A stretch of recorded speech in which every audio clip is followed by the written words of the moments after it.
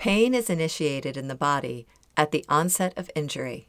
When mechanical injury to tissue occurs, such as when a ligament is sprained, the body will transmit this signal to the brain. This is called hyperalgesia. The sensation of pain is caused by the stimulation of nerve endings within the tissue caused by the overstretch or tearing.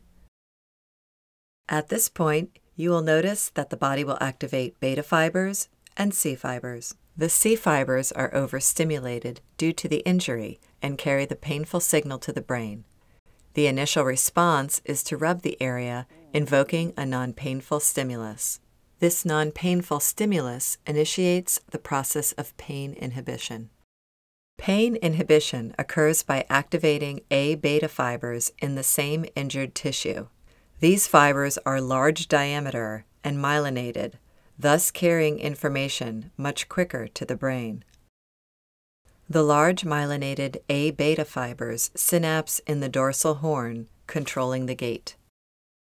The A beta fibers inhibit tract cells and thus override C fibers that are carrying the stimulus.